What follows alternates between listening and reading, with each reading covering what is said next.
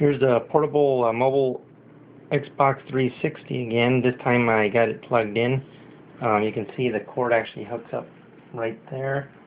Um, and you can see better the HDMI ports, the Ethernet port, volume control, and then the two USB ports uh, in your fan. Right now it's turned off. You can see the status of the power supply. It's off. I'm actually going to turn it on. You can see it's turned on. Power supply green.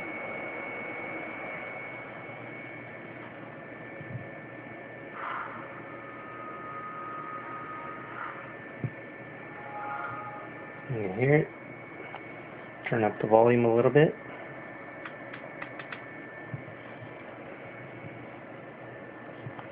I'm just gonna sign in.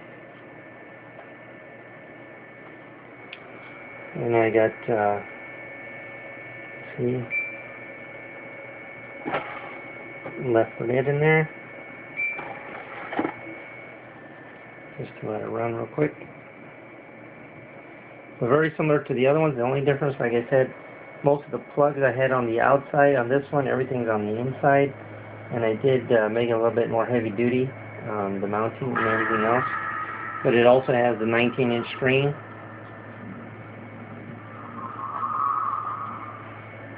And I just raise the volume a little bit more. It does have small speakers. They're actually uh, laptop speakers that are integrated on this one.